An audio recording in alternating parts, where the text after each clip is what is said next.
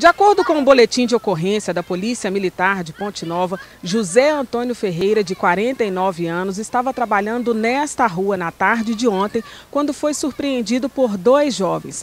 Eles dispararam vários tiros. Dois pegaram no peito do senhor Antônio e um na perna. Na tentativa de escapar dos adolescentes, ele acabou caindo neste barranco e a Polícia Militar foi acionada. Ela prestou os primeiros socorros e levou o senhor Antônio ao Hospital Arnaldo Gavaza. A tentativa de homicídio aconteceu na rua Cipriana de Jesus, no bairro Triângulo Velho, por volta de uma da tarde. Os suspeitos de terem feito os disparos são dois adolescentes, um com 16, outro com 17 anos. O motivo seria envolvimento com drogas.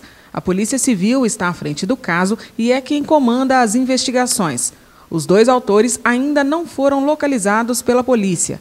Até amanhã de hoje, 6 de julho, José Antônio Ferreira continuava internado no pronto-socorro do Hospital Arnaldo Gavaza e não corria risco de morrer.